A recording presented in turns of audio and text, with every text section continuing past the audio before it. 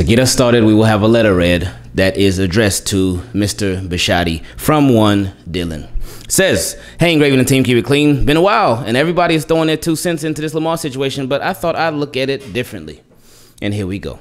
Dear Mr. Bisciotti, recently you have came into a gold mine in Mr. Lamar Jackson. You can make the argument that there are maybe 24 or so teams who wouldn't be interested in him due to their own quarterback situation, but if we are dealing with figures and numbers, then let's look at it this way.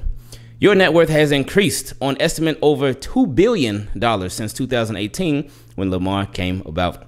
Lamar, since playing for Baltimore, has been the leading rusher since 2018, as well as the leading passer, although as QB1, that isn't a shock. Uh, through moves, not entirely up to you, there has been trades and moves to invest in more well-known talent on the defensive end opposed to the offense, whether it's Marcus Peters, Calais Campbell, Yannick Ngakoue, uh, or even Marcus Williams this year. Yet, no prolific stud to join the offense and set the world on fire. Since entering the league, he has done a phenomenal job to reignite Baltimore and have relevance to the franchise. He has arguably saved jobs at Baltimore as well as getting recognition for those around him. People can talk about him underperforming or falling short of the marks, but at the end of the day, unless you win a Super Bowl, it doesn't matter.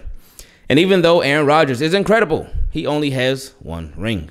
Peyton Manning, for all his work ethic and determination, has two rings. Dan Marino has none. Truth be told, some players are unlucky and some just don't get the chance. But either way, as a businessman, money talks and Lamar keeps your franchise relevant. But at the end of the day, what do I know? I'm just some guy from Australia that recognizes for the first time since 2012 and the end of the Ray Lewis career there's finally someone who stands for and represents Baltimore in the purple and black. He says, sorry for the long message, but as I just said, I just want to look at it from a different way. Team, keep it clean, stay strong, stay well, and stay blessed. What what what a beautiful way uh, to start us off with a letter to Mr. Bisciotti uh, from my guy Dylan himself. Um, and yeah, you you you made several good points. Um, I don't disagree with anything that you said. Um, as far as the uh, them really like going after the defensive guys and um, and really kind of being like uh, about the the offensive guys. Um, as far as what the the revenue, the revenue. I mean, hey, the, the revenue. That's what it's about, right? That NFL's a business. Lamar has increased the Ravens' revenue and put more money in Steve Bisciotti's pockets. Um, and he it's been significant too um, the primetime games, the memorabilia, the jerseys, the all everything, the ticket for sales, all yeah. So all that has definitely uh, went up with a uh, Lamar Jackson. Um, so yeah, I I don't even have a follow up. Yeah,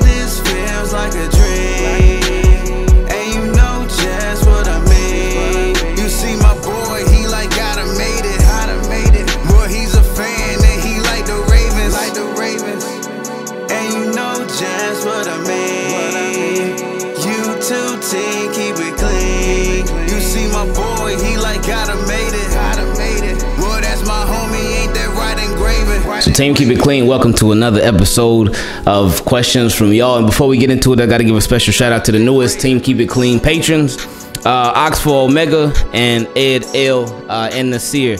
Uh, as well. Appreciate y'all. Now, normally uh, we would start off by a question from some of the newest patrons, but they didn't send any questions, so they were just signing up to show support. So I appreciate it. Uh, and also got to give a shout out to the newest Team Keep It Clean channel member, Big Meal.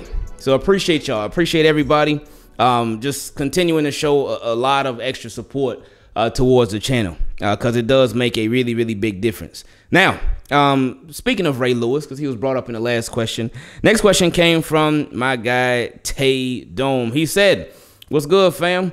Uh, we all been talking about Lamar, which is very important, but what about Marcus Peters? Will we lock him up? Because uh, he means a lot to us." Um, and that's just a quick question that I had. Keep up the good work and it's hashtag forever Tay and hashtag team keep it clean. Appreciate that. Um, well, Marcus Peters, I think it's one of those things where they're just really waiting it out. Um, I don't think, and it's it's sad to think about it because it's Marcus Peters, man. But I don't think it's a guarantee that he's here next year. Um, this is the last year of his deal, um, and I I don't know, man. I, I just I could see the Ravens being like, hey, Thanks for everything. And, and of course, you don't want it to be like that. But again, with business, uh, you you got to make business decisions. But I, I could see the Ravens uh, moving on from Marcus Peters uh, after this year. I would love to be wrong about that because uh, we love Marcus Peters uh, for sure. Um, but I, I could I, I could see a scenario where that ends up being the case. But I think right now they're just in wait and see mode. Uh, they're in um, let's see how he bounces back from his injury uh, from last year. Let's see how he responds to it because uh, there, there's there's no rush. There, there's no rush to re-sign uh, Marcus Peters. Um, with the different guy, there is kind of a rush to re-sign him as your franchise quarterback. But um, yeah. Next question came from my guy Javo. He said, "Have you ever thought about interviewing more or firm or former or former current Ravens players?" Uh, so, if you could interview one current and one former Raven, who would it be, and what three questions would you ask? Mm, um, current Lamar, former Ray Lewis. Uh, what three questions would I ask? I can't say that because somebody might try to take them uh, when they interview those people. Next question came from my guy Earl T. He said, "Hey, Graven, I'll try not to make this long. Been enjoying the channel since the car videos when you you when you were using wired headphones. LOL. Hey, man. Hey." I actually still use wired headphones. If I put on the headphones, because I, I don't have uh, AirPods. I bought my wife AirPods, but I don't have AirPods myself. Um, so when I plug in them headphones, I, I plug them in and hey, I hook it up. But anyway, and then with my phone too, like it's weird. I, I don't know what happened to it over time, but on speaker I can hear fine. But when it's not on speaker, I just put it to my, I, it's it's super super low. Um, so something's off with it. But anyway, but you know how iPhones do. iPhone when they want you to get a new iPhone, they, they make all this like weird stuff start happening to your current iPhone. You know how they do. So hopefully Ravens, hopefully they start doing that with their offense. They upgrade it. But anyway, he said, uh, "I'm proud to see the growth and how it's went from that to pretty much a full production." I, don't know, I don't know about all that. No, I don't know about no full production, but I, I appreciate you. He said, "Keep up the consistency and great work." Now. I've been a fan of Baltimore since they actually had a poll for residents of the city to vote on the name, basically a long time. My question is, yeah, so you were a fan of the Ravens before they were even the Ravens, before they were even a thing. Like I said, my question is, even though we would love to win the Super Bowl this year, should Ravens fans be a little nervous about it? Of course you should. You should always be nervous about your team's uh, expectations and what you hope they accomplish this year. Yeah, anything that that you're nervous about, um, that just means you care about it. That's what I always I tell that to Carter. I tell that to my wife. I tell that to myself. Anything that you're nervous about, uh, it just means that you really do care about it. But anyway, he said if Lamar doesn't sign a contract but goes out and does a Joe Flacco, we've seen what happened. But after that, his deal is probably going to be so enormous that the team is going to have to sacrifice players. We've got a lot of players on rookie contracts, but we have some with pretty decent deals, and we know uh, the cap. he said the cap only applies to the Ravens. LOL. Is the Super Bowl worth losing Stanley, Humphrey, or even Andrews? Who said you even got to lose all those guys? Like, really, who, says you even got to lose all those guys? because they they are on their contracts. Marlon Humphrey is on his contract. Uh, Ronnie Stanley is on his big contract. Mark Andrews, he's on his big contract. Just because you pay the quarterback, it doesn't mean like, all right, we paid the quarterback, we can't do anything else now. That whole like the thing with Joe Flacco and his contract, I don't know what that was um, with the whole Anquan Boldin thing. But think about it, like what um Ronnie Stanley, Mark Andrews, that's it they ain't got no big, uh, they ain't got no other big investments on the offensive side of the ball. Because Zeitler, what he's going into, this is his second year with the team, so they be going into his third year next year. I think he signed a three-year deal. I want to say, um, but the Ravens don't got big investments like that on offense anyway. Ronnie Stanley, Mark Andrews, and then it would hopefully end up being Lamar too. So I mean, nothing. what would change as far as the offensive side of the ball? Now on defense, uh, we talked about Marcus Peters earlier. Um, and we'll see what happens with that. I think we'll obviously have to wait out this year. Um, but moves can still be done. It's just a matter of how bad you really want to make stuff happen. How flexible are you really willing to be with the whole cap? So it's, up to the Ravens if they really want to do something like that or not. The last question on this episode came from my guy Manuel. He said the unwanted bait we hear in the media. Uh, what's up, Ingraven? We are now in football season this week. How hard uh, it was with a weekend without football. Uh, anyway, I fear the Ravens might fall into the bait of the media this year about not being able to come from behind, even though we proved it last year with the hospital of a team. About Lamar can't pass, even though uh, he has proven otherwise.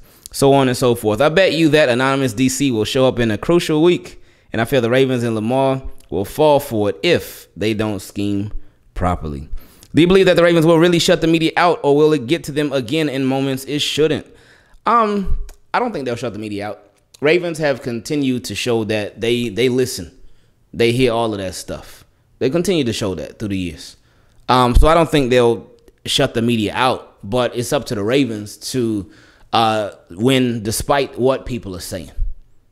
So people could say whatever they want to say, but it's up to the Ravens to hey, to go out there, do their thing, execute game plan, all that, so on and so forth, and, and just get the job done.